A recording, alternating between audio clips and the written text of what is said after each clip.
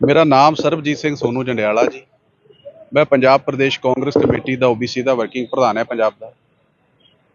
ਤੇ ਇਹ ਜਿਹੜੀ ਨਹਿਰ ਆ, ਇਹ ਧੰਨ ਧੰਨ ਸਾਹਿਬ ਸ੍ਰੀ ਗੁਰੂ ਰਾਮਦਾਸ ਮਹਾਰਾਜ ਦੀ ਨਗਰੀ ਵਿੱਚੋਂ ਇੱਕ ਇੱਕ ਨਹਿਰ ਨਿਕਲਦੀ ਹੈ। ਤੇ 골ਡਨ ਗੇਟ ਤੋਂ ਜਦੋਂ ਅਸੀਂ ਆਈਦਾ ਇਹ ਤਾਰਾਂ ਵਾਲਾ ਪੁਲ ਆ, ਜਿੱਥੇ ਕੁਝ ਅੰਧ ਵਿਸ਼ਵਾਸ ਵਿੱਚ ਫਸੇ ਹੋਏ ਲੋਕਾਂ ਨੇ ਪਾਣੀ ਵਿੱਚ ਇੰਨੀ ਕੁ ਗੰਦਗੀ ਪਾਤੀ ਕਿ ਇਹ ਨਹਿਰ ਜਿਹੜੀ ਆ, ਉਹ ਗੰਦੇ ਨਾਲੇ ਦਾ ਰੂਪ ਲੈ ਗਈ। ਇੱਥੇ ਬਹੁਤ ਸਾਰੀਆਂ ਬਿਮਾਰੀਆਂ ਨੇ ਜਿਹੜਾ ਵਾ ਜਨਮ ਲੈ ਕੇ ਉਹਨਾਂ ਲੋਕਾਂ ਨੂੰ ਲਪੇਟ 'ਚ ਲੈ ਆਉਣਾ ਜਿਨ੍ਹਾਂ ਦਾ ਕੋਈ ਕਸੂਰ ਨਹੀਂ। ਜਦ ਇਹ ਕਾਫੀ ਵਾਰੀ ਮੈਂ ਬੋਲਿਆ, ਫਿਰ ਮੈਂ ਅੱਕ ਕੇ ਜਿਹੜੇ ਸਾਡੀ ਗੁਰੂ ਨਗਰੀ ਦੀ ਗਵਾਹੀ ਕਰਦੇ ਆ, ਮੈਂਬਰ ਪਾਰਲੀਮੈਂਟ ਸਰਦਾਰ ਗਜੀਤ ਸਿੰਘ ਔਜਲਾ, ਉਹਨਾਂ ਨਾਲ ਗੱਲ ਕੀਤੀ ਤੇ ਉਹਨਾਂ ਨੇ ਪ੍ਰਸ਼ਾਸਨ ਦੇ ਉੱਚ ਅਧਿਕਾਰੀਆਂ ਨਾਲ ਤੇ ਮਹਿਕਮੇ ਨਾਲ ਗੱਲ ਕਰਕੇ ਤੇ ਇੱਥੇ ਜਿਹੜਾ ਪ੍ਰਸ਼ਾਸਨ ਨੂੰ ਭੇਜਿਆ ਤੇ ਸਾਫ਼ ਸਫ਼ਾਈ ਦਾ ਕੰਮ ਸ਼ੁਰੂ ਹੋ ਗਿਆ। ਗੱਲ ਇਹ ਆ ਵੀ ਜਿਹੜੇ ਵੀ ਮੀਡੀਆ ਵਾਲੇ ਵੀਰ ਆ ਨਾ ਮੇਰੀ ਖਾਸ ਕਰਕੇ ਉਹਨਾਂ ਨੂੰ ਬੇਨਤੀ ਆ, ਜਿਹੜੇ ਫਜ਼ੂਲ ਦੀਆਂ ਖਬਰਾਂ ਵਿਖਾਉਂਦੇ ਆ। ਭਾਈ, ਅਸੀਂ ਉਹ ਕੰਮ ਕਰਿਆ ਕਰੀਏ, ਜਿਹੜਾ ਕਿਸੇ ਨੂੰ ਸਿੱਖਿਆ ਦੇਵੇ। ਅਸੀਂ ਉਹ ਖਬਰਾਂ ਵਿਖਾਉਣੇ ਨੇ ਜਿਹੜੀ ਕਿਸੇ ਦੀ ਲੜਾਈ ਹੋ ਗਈ, ਕਿਸੇ ਨੇ ਕਿਸੇ ਦਾ ਸਿਰ ਪਾੜਤਾ, ਕਿਸੇ ਦਾ ਕੋਈ ਕੁੱਤਾ ਚੁੱਕ ਕੇ ਲੈ ਗਿਆ। ਮਤਲਬ ਨਿੱਕੀਆਂ ਨਿੱਕੀਆਂ ਖਬਰਾਂ ਨੂੰ ਅਸੀਂ ਲੜਾਈਆਂ ਬਣਾਉਨੇ ਪਰ ਇਹ ਜਿਹੜਾ ਬਹੁਤ ਵੱਡਾ ਕੰਮ ਸੀ, ਪਵਨ ਗੁਰੂ ਪਾਣੀ ਪਿਤਾ ਮਾਤਾ ਧਰਤ ਮਹਤ। ਅਸੀਂ ਗੁਰੂ ਨਾਨਕ ਸਾਹਿਬ ਦੇ ਮਿਸ਼ਨ ਨੂੰ ਫੇਲ ਕਰਨ ਵਾਲੇ ਆ ਬੰਦਿਆਂ ਦੇ ਸਖਤ ਖਿਲਾਫ ਆ। ਜਿਹੜੇ ਵਹਿਮਾਂ ਭਰਮਾਂ ਵਿੱਚ ਪੈ ਕੇ ਲੋਕ ਇੱਥੇ ਗੰਦਗੀ ਪਾਉਂਦੇ, ਉਹਨਾਂ ਦੇ ਸਖਤ ਖਿਲਾਫ ਆ। ਜਿਹੜੇ ਚੈਨਲਾਂ ਨੇ, ਨਿੱਜੀ ਚੈਨਲਾਂ ਨੇ ਆਣ ਕੇ ਸਾਡੀ ਖਬਰ ਵਿਖਾਈ ਨਾ, ਮੈਂ ਦਿਲ ਦੀਆਂ ਗਹਿਰਾਈਆਂ ਤੋਂ ਉਹਨਾਂ ਦਾ ਧੰਨਵਾਦ ਵੀ ਕਰਦਾ ਤੇ ਪ੍ਰਮਾਤਮਾ ਉਹਨਾਂ ਵੀਰਾਂ ਨੂੰ, ਉਹਨਾਂ ਪੱਤਰਕਾਰਾਂ ਨੂੰ ਹਮੇਸ਼ਾ ਚੜ੍ਹਦੀ ਕਲਾ ਵਿੱਚ ਰੱਖੇ।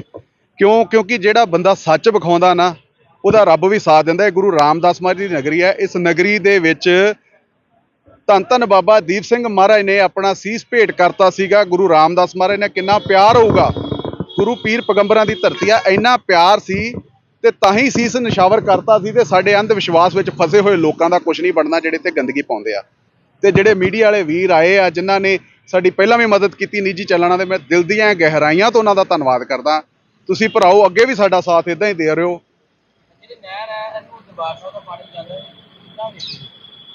ਦੇਖੋ ਇਹ ਸਾਡੀ ਨਾ ਗੁਰੂ ਨਗਰੀ ਦੇ ਵਿੱਚੋਂ ਚੰਦ ਕੁ ਲੋਕ ਐਸੇ ਆ ਜਿਹੜੇ ਨਾ ਟੂਣੇ ਵਾਲਿਆਂ ਦੇ, ਬਾਬਿਆਂ ਦੇ, ਪਖੰਡੀ ਬਾਬਿਆਂ ਦੇ ਵਿੱਚ ਫਸ ਕੇ ਨਾ ਗੱਲਾਂ ਦੇ ਉਹਨਾਂ ਦੇ, ਤੇ ਆਪਣੇ ਆਪ ਨੂੰ ਨਾ ਮਾਨਸਿਕ ਰੋਗੀ ਬਣਾ ਚੁੱਕੇ ਆ, ਜਿਨ੍ਹਾਂ ਨੂੰ ਰੱਬ ਤੇ ਵਿਸ਼ਵਾਸ ਨਹੀਂ ਆ, ਉਹਨਾਂ ਨੂੰ ਉਹ ਕਹਿੰਦੇ ਆ ਵੀ ਜਾਓ ਉੱਥੇ 10 ਕਿਲੋ ਕਣਕ ਸੁੱਟ ਆਓ, ਕੁਇੰਟਲ ਦੁੱਧ ਰੋੜ ਆਓ, ਜਿਨ੍ਹਾਂ ਦਾ ਕੋਈ ਮਰ ਜਾਂਦਾ ਉਹ ਕੱਪੜੇ ਸੁੱਟ ਜਾਂਦੇ ਇੱਥੇ ਆਣ ਕੇ।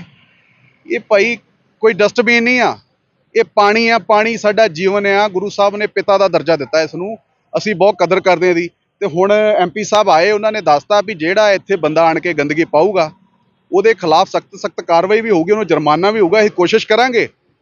ਇਹਨਾਂ ਨੂੰ ਸਜ਼ਾ ਵੀ ਹੋਵੇ, ਕਿਉਂਕਿ ਇਦਾਂ ਲੋਕਾਂ ਨੇ ਨਹੀਂ ਹਟਣਾ। ਇਹ ਕੋਈ, ਇਹ ਉਸੇ ਵੇਲੇ ਜੇ ਅੱਜ ਸਾਫ਼ ਕਰਾਤੀ, ਲੋਕ ਇੱਥੇ ਨਹੀਂ ਸੁੱਟਣਗੇ, ਗਾੜੀ ਸੁੱਟ ਦੇਣਗੇ। ਪਰ ਲੋਕਾਂ ਨੂੰ ਹੱਥ ਜੋੜ ਕੇ ਬੇਨਤੀ ਆ ਭਾਈ, ਮਾਨਸਿਕ ਰੋਗੀ ਨਾ ਬਣੋ। ਇਹ ਬਾਬਿਆਂ ਬੂਬਿਆਂ ਦੇ ਕੁਛ ਨਹੀਂ, ਜਿਹੜਾ ਬੰਦਾ ਤੁਹਾਨੂੰ ਦੱਸ ਰਿਹਾ ਵਾ, ਉਹਦੇ ਪੱਲੇ ਕੀ ਹੋਊਗਾ? ਕੋਈ ਨਿੰਬੂ ਸੁੱਟਣ ਨਾ, ਕੋਈ ਐਦਾਂ ਕਣਕ ਸੁੱਟਣ ਨਾ ਜਾਂ ਗੰਦ ਪਾਉਣ ਨਾ, ਨਹਿਰ 'ਚ ਕੁਛ ਨਹੀਂ ਹੋਣਾ, ਉਲਟਾ ਨੁਕਸਾਨ ਹੁੰਦਾ ਵਾ। ਇਹ ਪਾਣੀ ਲੱਗੇ ਅੱਗੇ ਜਾ ਕੇ ਖੇਤਾਂ 'ਚ ਲੱਗਣਾ ਵਾ ਪੀਣ ਦੇ ਕੰਮ ਆਉਂਦਾ ਵਾ ਇਸ ਕਰਕੇ ਗੰਦਗੀ ਨਾ ਪਾਓ ਮੇਰੀ ਇਹੀ ਬੇਨਤੀ ਹੈ। ਜਿਹੜੇ ਸਰਕਾਰੀ ਮੁਲਾਜ਼ਮ ਸੁੱਟਦੇ ਜਾਂ ਕੋਈ ਚੀਜ਼ ਮਰ ਜਾਂਦੀ ਹੈ ਜਾਂ ਕੁਝ ਵੀ ਹੋ ਜਾਂਦਾ ਸੁੱਟਣ ਦੇ ਵਿੱਚ ਪਾਣੀ ਦੇ ਵਿੱਚ ਹੁਣ ਵੀ ਆਪਾਂ ਵੇਖਿਆ ਕਿੰਨਾ ਵੇਖੀ ਬਹੁਤ ਮੰਦਭਾਗੀ ਗੱਲ ਹੈ ਸਰਕਾਰੀ ਮੁਲਾਜ਼ਮਾਂ ਨੂੰ ਤੇ ਸਸਪੈਂਡ ਕਰਨਾ ਚਾਹੀਦਾ ਸਖਤ ਸਖਤ ਕਾਰਵਾਈ ਹੋਣੀ ਚਾਹੀਦੀ ਜਿਹੜਾ ਜ਼ਿੰਮੇਵਾਰ ਵਿਅਕਤੀ ਇਹੋ ਜਿਹਾ ਕੰਮ ਕਰਦਾ ਵਾ ਉਹਦੇ ਤੇ ਜ਼ਿਆਦਾ ਸਖਤ ਕਾਰਵਾਈ ਹੋਣੀ ਚਾਹੀਦੀ ਆ। ਉਹ ਪਰਲੇ ਬੰਨੇ ਤੁਸੀਂ ਵੇਖੋਗੇ ਫੁੱਲਾਂ ਦੇ ਲਿਫਾਫਿਆਂ ਦੇ ਗੰਦਗੀ ਦੇ ਢੇਰ ਇੰਨੇ ਕੁ ਲਾਤੇ ਕੋਈ ਹਿਸਾਬ ਨਹੀਂ। ਹੁਣ ਜਿਹੜਾ ਪ੍ਰਸ਼ਾਸਨ ਨੇ ਬੰਦੇ ਅੱਜ ਲਾਤੇ ਆ ਜਿੱਥੇ ਬੰਦਿਆਂ ਦੇ ਨਾਲ ਕੰਮ ਹੋਣਾ ਉੱਥੇ ਬੰਦਿਆਂ ਨਾਲ ਜਿੱਥੇ ਜੀਸੀਬੀ ਨਾਲ ਉੱਥੇ ਜੀਸੀਬੀ ਨਾਲ ਹੋਊਗਾ। ਬਾਕੀ ਅਸੀਂ ਕੋਸ਼ਿਸ਼ ਕਰਾਂਗੇ ਐਮਪੀ ਸਾਹਿਬ ਨੂੰ, ਮੈਂ ਕਿਹਾ, ਉਹ ਕਹਿੰਦੇ ਵੀ ਮੇਰੀ ਕੋਸ਼ਿਸ਼ ਹੈ ਵੀ ਮੈਂ ਸਾਰਾ ਹੀ ਕਵਰ ਕਰਦਾ, ਵੀ ਜਿੰਨਾ ਕੁ ਹੋ ਸਕਦਾ। ਪਰ ਲੋਕਾਂ ਨੇ ਜਿਹੜੀਆਂ ਵਾ, ਤੁਹਾਨੂੰ ਪਤਾ ਉੱਪਰੋਂ ਦੀ ਉੱਥੇ ਜਾਲੀਆਂ ਲੱਗੀਆਂ, ਉੱਥੋਂ ਵੀ ਸੁੱਟ ਦਿੰਦੇ ਆ। ਜੇ ਕਾਰਪੋਰੇਸ਼ਨ ਥੋੜੀ ਜੀ ਸਖਤੀ ਕਰਦੇ, ਤੇ ਪੁਲਿਸ ਪ੍ਰਸ਼ਾਸਨ ਸਾਡੀ ਮਦਦ ਕਰਦੇ, ਤੇ ਕੰਮ ਬੰਦ ਹੋ ਸਕਦਾ। ਅੱਜ ਜਿਹੜੀ ਬੱਲੇ ਦੇ ਨਾਲ ਨਹਿਰ ਹੁੰਦੀ ਹੋਈ ਤਰਨਤਾਰਨ ਰੋਡ ਨੂੰ ਜਾਂਦੀ ਅੰਮ੍ਰਿਤਸਰ ਦੇ ਨਾਰਥ ਸਾਈਡ ਦੇ ਉੱਤੋਂ ਉਸ ਨਹਿਰ ਦੇ ਉੱਤੇ ਕੁਝ ਦਿਨ ਪਹਿਲਾਂ ਸਾਡੇ ਸੋਨੂ ਜੀ ਮੇਰਾ ਬਹੁਤ ਪਰਮ ਮਿੱਤਰ ਹੈ ਔਰ ਸਮਾਜ ਸੇਵਕ ਹੈ। ਉਹਨੇ ਇੱਕ ਦੱਸਿਆ ਕਿ ਇੱਥੇ ਨਹਿਰ 'ਚ ਬਹੁਤ ਗੰਦ ਹੈ, ਉਹ ਕਿਸੇ ਕਾਰਨ ਕਰਕੇ ਕਿਸੇ ਦੀ ਵੇਟ ਕਰਕੇ ਇੱਥੇ ਖੜੇ ਸਨ। ਸੋ ਮੈਂ ਉਸੇ ਵੇਲੇ ਪਰਸੋਂ ਡੀ ਸਾਹਿਬ ਦੇ ਧਿਆਨ 'ਚ ਲਿਆਂਦਾ। ਕੱਲ ਡੀ ਸਾਹਿਬ ਨੇ ਇਹਦਾ ਕੰਮ ਸ਼ੁਰੂ ਕਰਾਤਾ। ਅੱਜ ਵੀ ਲੇਬਰ ਲੱਗੀ ਹੈ। ਇੰਨਾ ਜ਼ਿਆਦਾ ਗੰਦ ਜਿਹੜਾ ਲੋਕਾਂ ਨੇ ਮਹਿਮਾ ਭਰਮਾਂ ਦੇ ਕਰਕੇ ਇਹਦੇ 'ਚ ਪਾਇਆ। ਕੁਝ ਲੋਕ ਜਾਣ ਬੁੱਝ ਕੇ ਆਪਣਾ ਕੂੜਾ ਕਰਕੜੇ ਤੇ ਸੁੱਟ ਕੇ ਚਲੇ ਜਾਂਦੇ ਆ। ਮੈਂ ਮਤਲਬ ਕਹਿਣਾ ਚਾਹੁੰਦਾ ਕਿ ਇਸ ਪਵਿੱਤਰ ਸ਼ਹਿਰ ਦੇ ਵਿੱਚ ਰਹਿੰਦੇ ਹੋਏ ਵੀ ਤੁਹਾਡੀ ਸੋਚ ਇੰਨੀ ਗੰਦੀ ਹੈ, ਮੈਨੂੰ ਸਮਝ ਨਹੀਂ ਆ ਸਕਦਾ। ਪਵਨ ਗੁਰੂ, ਪਾਣੀ ਪਿਤਾ, ਮਾਤਾ ਧਰਤਮਹੱਤ ਪਵਿੱਤਰ ਸਰੋਵਰ ਨੇ ਇੱਥੇ ਸਾਹਿਬ ਸ੍ਰੀ ਹਰਿਮੰਦਰ ਸਾਹਿਬ, ਸ੍ਰੀ ਦੁਰਗਿਆਣਾ ਤੀਰਥ, ਬਾਲਮਿਕ ਤੀਰਥ, ਕੀ ਤੁਹਾਨੂੰ ਕੁਝ ਵੀ ਦਿਸਦਾ ਨਹੀਂਗਾ ਕੀ ਤੁਹਾਨੂੰ ਕੋਈ ਸਮਝ ਨਹੀਂ ਪੈਂਦੀ? ਸੋ ਜਿੱਥੇ ਪ੍ਰਸ਼ਾਸਨ ਆਪਣਾ ਕੰਮ ਕਰ ਰਿਹਾ ਮੈਂ ਸਖਤੀ ਦੇ ਨਾਲ ਪੇਸ਼ ਆਉਣ ਲਈ ਡੀ ਸਾਹਿਬ ਨੂੰ ਵੀ ਕਿਹਾ ਔਰ ਕਮਿਸ਼ਨਰ ਆਫ ਪੁਲਿਸ ਨੂੰ ਵੀ ਕਿਹਾ ਕਿ ਜਿਹੜਾ ਬੰਦਾ ਫੜਿਆ ਗਿਆ ਕੋਈ ਵਹਿਮਾਂ ਭਰਮ ਚ ਪਾ ਕੇ ਜਿਹਨੇ ਭੇਜਿਆ ਤੇ ਵਹਿਮ ਭਰਮ ਪਾਉਣ ਵਾਲੇ ਦੇ ਉੱਤੇ ਵੀ ਕਾਰਵਾਈ ਹੋਊਗੀ ਜੇ ਪਾਣੀ ਗੰਦਲੇ ਕੀਤੇ ਸਾਡੇ ਤੇ। ਪਲੱਸ ਜਿਹੜੇ ਬੰਦੇ ਕੋਈ ਆਪਣਾ ਕੂੜਾ ਸੁੱਟ ਕੇ ਜਾਂਦੇ ਆ, ਕੋਈ ਫੁੱਲ ਹਾਰ ਇਕੱਠੇ ਕਰਕੇ ਸੁੱਟ ਕੇ ਜਾਂਦੇ ਆ, ਉਹਨਾਂ ਦੇ ਉੱਤੇ ਵੀ ਕਾਰਵਾਈ ਹੋਊਗੀ। ਉਹਨਾਂ ਨੂੰ ਵਿਖਾਓ ਆੜੇ ਫੁੱਲ ਹਾਰ ਜਿਹੜੇ ਤੁਸੀਂ ਦੇਵਤਿਆਂ ਦੇ ਮੂਰਤ, ਮੂਰਤੀਆਂ ਦੇ ਉੱਤੇ ਪਾ ਕੇ ਇੱਥੇ ਸੁੱਟੇ ਉਹਨਾਂ ਦੀ ਹਾਲਤ ਵੇਖੀ ਜਾ ਕੇ ਕਿੰਨਾ ਨਰਕ ਆ। ਇਹਦੇ ਨਾਲ ਤਾਂ ਆਪਣੇ ਘਰ ਸਕਾ ਲਓ। ਉਹ ਇਹਦੇ ਇਹਦੇ ਖਤਮ ਹੋ ਜਾਣੇ ਆ।